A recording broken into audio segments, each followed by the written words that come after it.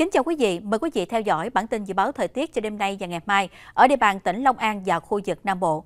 Thưa quý vị, theo Đài khí tượng thủy văn tỉnh Long An, trong 24 giờ tới, khu vực tỉnh Long An chịu ảnh hưởng gió mùa Tây Nam có cường độ trung bình mạnh.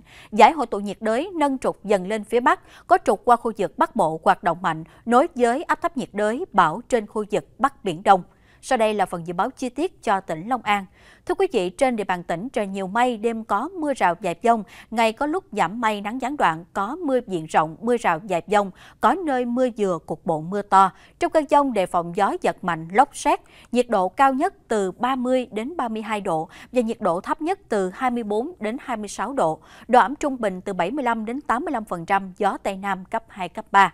Về tình hình thủy văn, mực nước khu vực phía Bắc lên do nước đổ về và mưa tại chỗ. Dự báo ngày mai 22 tháng 7, mực nước ở các trạm chính như sau. Tại trạm Mộc Quá là 0,8 m, tại trạm Tân Hưng là 0,9 m, tại trạm Vĩnh Hưng là 0,94 m và 1,3 m là mực nước cao nhất được dự báo tại trạm Hưng Điền B. Trong khi đó, tại trạm Vĩnh Đại, mực nước được dự báo thấp hơn đạt mức 0,88 m. Đối với khu vực phía Nam, mực nước lên theo kỳ triều cường rằm tháng 6 âm lịch. Dự báo ở các trạm chính như sau. Tại trạm Tân An, mực nước cao nhất vào ngày mai là 1,02 m, còn ở trạm Bến Lức là 1,13 m. Trong ngày có hai lần xuất hiện đỉnh triều với khoảng thời gian từ 6 đến 8 giờ và từ 14 đến 16 giờ.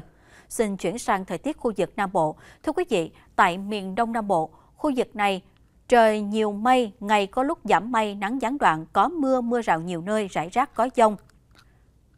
Có nơi mưa vừa, mưa to, trong cơn dông đề phòng gió giật mạnh, lốc xét, gió Tây Nam cấp 2, cấp 3. Nhiệt độ thấp nhất từ 23 đến 25 độ, có nơi dưới 23 độ và nhiệt độ cao nhất dao động trong khoảng từ 30 đến 32 độ.